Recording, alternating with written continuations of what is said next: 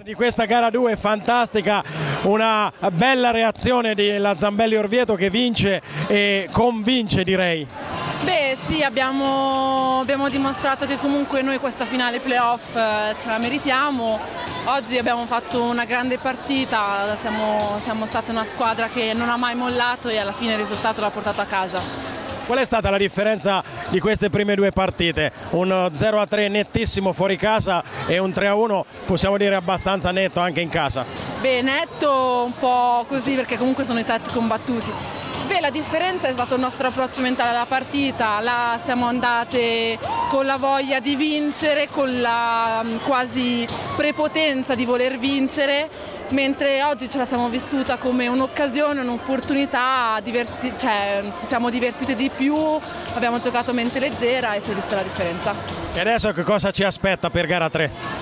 Beh, loro avranno fame di vittoria, noi avremo fame di vittoria, saprà, sarà una partita che mi auguro diverta anche il pubblico e che poi faccia vincere comunque chi se lo merita.